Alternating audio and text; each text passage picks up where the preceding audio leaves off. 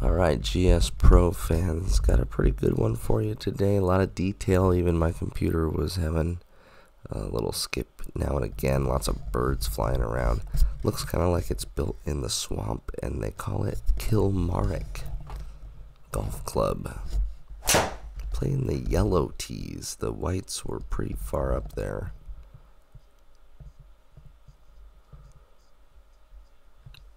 And starting off with a good drive fairway 118 remaining. Not a good swing there, just kind of cut it off. Lucky not to find the water.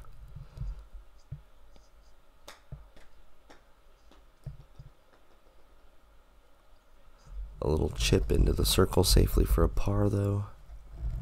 And we're off and running at Kilmaric. If you're new to the channel, we're bringing you full 18 holes of the GS Pro courses at the moment. Always leaving room open to have new softwares, new launch monitors, etc. But this is what I'm playing at the moment, and so I'm bringing it to you. Just rolling outside that circle for a bogey, and plus one early after two. We can talk about Kilmaric Golf Club. Like I said, kind of a swampy feel. Got these water with like giant trees in them, and uh, really dig kind of the feel. Outside of the course, there's not much going on. It's just the flat kind of satellite view. Um, it's really nice. Personally, I think when you can kind of see things out in the horizon, especially since we got these uh, hole transitions where you fly up like this we do see like trees out there, but then certainly in the background it's just the flat um, satellite. There's a ton of detail on the course though. We got the golf cart there. We got kind of trees separate some of the holes, kind of like the Masters. Uh, and then this next shot coming up is tough. 225, and I'm trying to carry a swamp the entire way.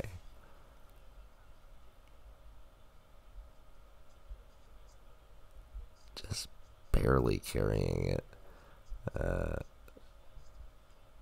and left, which was not really the place to bail out. It was the farthest point. A pretty weak chip and another chip. I do remember uh, this wasn't that long ago. Now that I'm editing it, and I had a hard time around this course. I just remember the bogeys kind of piling up eventually. This is a cool hole. Water everywhere. Pin tucked into the back left. I tried to hit a draw in there and just kind of left the face open. Pretty good swing though, and hole high. Take a par considering what's about to happen. Par 5 should fit a fade pretty good.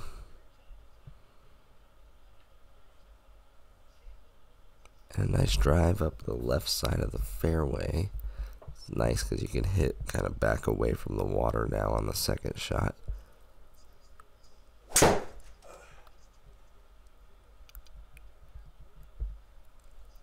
Two two nine could have had a chance at it. Uh, just scored it out to the right leaving about 30 yards now back towards the pin. Needs a roll. Oh, that's cruel. Two inches away from being a birdie. Sits at a par. Go over to the seventh hole now. Almost 400 yards and a par four.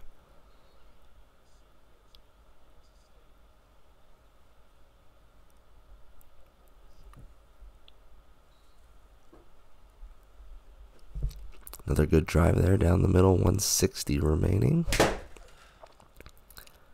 Kind of an abbreviated finish. Hopefully, I hit that good. Looks like it. And just right of the hole. So, yeah. I must have felt good contact and decided I could just stop swinging. 281, a short par 4 here. Let's see if we can take advantage.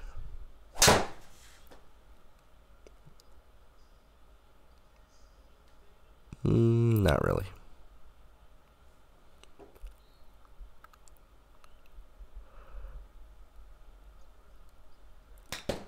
Fifty-five yards remaining, and that looks kind of short all the way, and is. So a par through nine, through eight, we're at plus two. We're going to nine, which is a par five with. Uh, couple tough shots. First shot up the right hand side. Trying not to go in the rough. It does stay in the fairway. Two, two, three. There's a tree in my way. And of course it hits the tree. Kind of redirects it more towards the hole though. Uh, that was definitely headed to the right. 55 remaining. A yardage I haven't quite been very good at. And a couple inches away again from a birdie. We could be at even if the golf gods were on my side here at Kilmaric.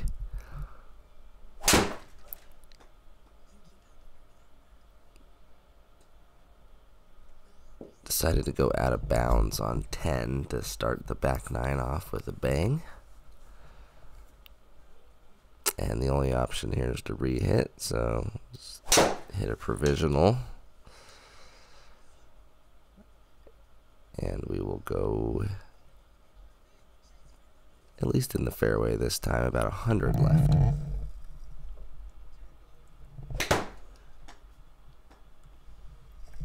A just terrible shot into the green from a 100, just absolutely slicing the crap out of it and a three putt triple bogey jumps up to plus five. Really tough par three here. Tiny green, surrounded by swamp water. Going pin hunting. And just a little right, but a good shot there. Fly up over a couple houses you can see around this course, and we Go to another par 5, the 12th.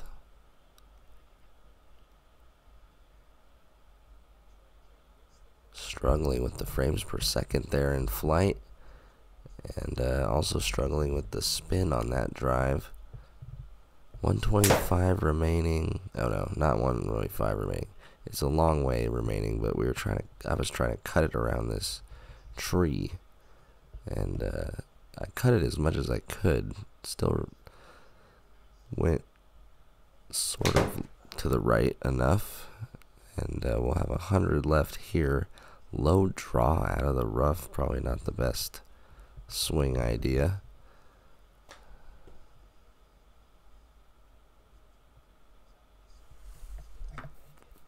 It's kind of a wasted short par 5 there to just get a par on. And the plus 5 keeps going here over to the 13th, a par 3, 146. That was too fast of a takeaway. Goodness.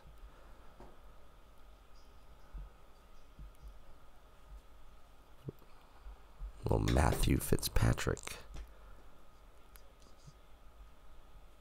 Tough chip out of the bunker to try and get that to stop and that's a bogey plus 6 through 13 going to 14th now.